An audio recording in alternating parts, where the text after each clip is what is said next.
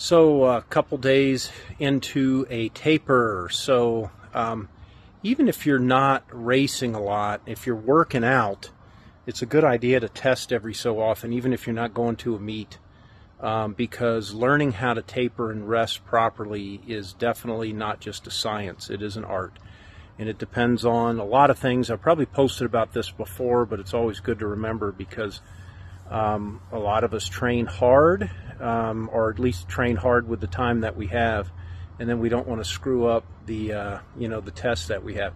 But also, it's a good idea to test even if you're not going to a regular meet because as we age, the aging process alone will change how much time we need to rest and how to sharpen the saw to be the best we can be. So really, three main factors in tapering. You know, the frequency that we come to the pool number of times we're going to work out. Um, so that's number one. The volume, how much uh, time we're spending in the water and the yardage we're doing, and then the intensity. And if I'm tapering for a longer swim, I'll usually keep the volume up and lower the intensity at first, and then lower the intensity and volume as we get closer. Um, if, if, I'm if I am uh, tapering for a shorter race, then I'll reduce the volume and intensity at first. But we don't want to reduce the intensity too much uh, because we don't want the body to go to sleep. So there, when I'm saying intensity uh, reducing for distance swimming versus sprinting, it is two different things.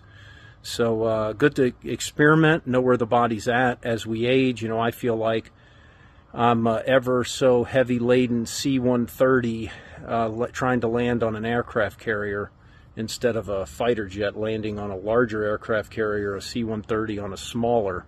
So uh, it seems like I need more rest, but I get out of shape quicker. So it's it's important to sharpen that saw. So uh, this time around, I'm probably going to be tapering for a, a shorter race, uh, just the 200, because I haven't done that in a while. I'm usually resting for a thousand or a mile or a 400.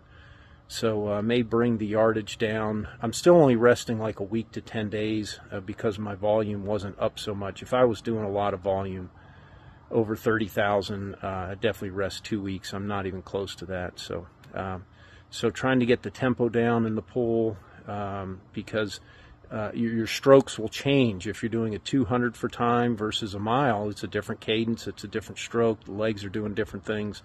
So I'm more used to the longer distance stuff getting back into that 200 cadence and using the legs a, a little bit is a different uh, game altogether.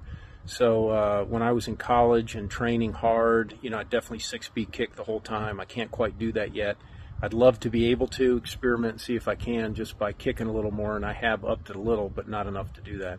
So I'll still be doing some type of a, a little bit of a harder than just a two beat, and uh, kind of have fun racing. So good luck out there. Um, train hard, but we don't train as hard unless we have a test. So even if you're not going to competitions, you ought to test yourself every so often, at least twice a year.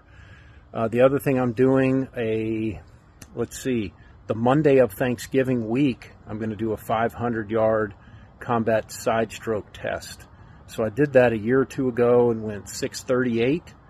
And uh, so that was good for me as an old guy. So if a 56 year old can go uh, under 640. So that's my goal, you know, under 640, uh, it, just to show that it can be done. I'm not strong or, or uh, have the power I used to, but a lot of it's technique. So uh, for a 500 yard combat side stroke, um, you know, I teach a really long full stroke combat side stroke, but I'm going to be doing a half hitch to go to stroke rate, see what kind of speed we can get.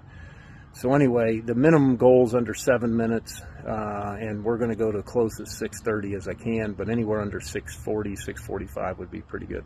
So I'm going to videotape that the whole time uh, this time, so we don't have any naysayers out there saying, "Hey, uh, I don't believe you."